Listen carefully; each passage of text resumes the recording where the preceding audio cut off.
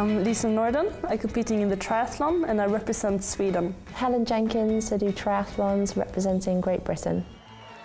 I got into triathlon when I was about 15 or 16. I'd been a swimmer up until that point and luckily one of the girls I was swimming with, her father was involved in Welsh Triathlon and asked a few of us if we wanted to give it a go and he took us to get away to go to a race and I won my first race and it kind of went from there.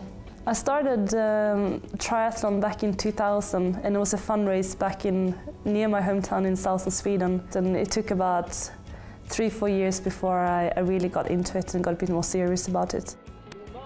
One of my first memories of triathlon is probably watching the Sydney Olympics. I was just getting into the sport and I remember it being on and because it was in Sydney and we were you know in the UK it was a big time difference and I'd actually been out with my friends and got in quite late and the triathlon was on, so I did actually watch it. I had no idea at that time that you know that's what I would be doing for you know for for my career.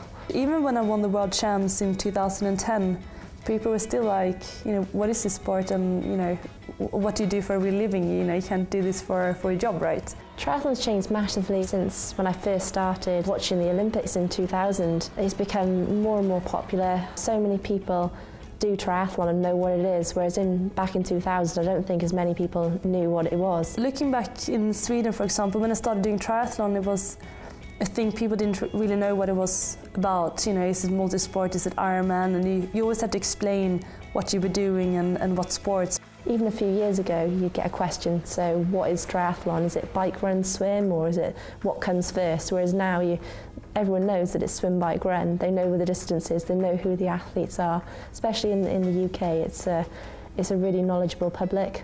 And then leading into London, suddenly that was a change and the culture in Sweden really picked up on the sport and the races started filling up and the federation got so many more uh, licensed athletes and there was like this huge um, explosion of triathlon awareness and interest. London 2012 was a very different experience. The home crowd and the triathlon, because the event was free to watch, the, just the crowds were huge. I get goosebumps thinking about the event. It was amazing. And after the Olympics, it's been absolutely crazy, probably the most the, the most rapid developing sport that we have in our country. And I think that's probably the same in many other countries around. It is a, a, a very growing sport and the format is getting better all the time. The series as a whole, like our ITU racing and our qualification period for the Olympics has become more and more competitive, more and more people are racing. It's become a lot more professional sport over the years. It looks better, the money's better, the races are better, it's more competitive than before. Uh, so it's fantastic to be a part of that development and you know, hopefully be keeping up with the sport the way it's developing at the moment. I think the increase in knowledge and awareness of the public has been the success of the British triathletes over the last few years. We've had a very successful run and there's been medals, there's, there's been a lot more TV coverage.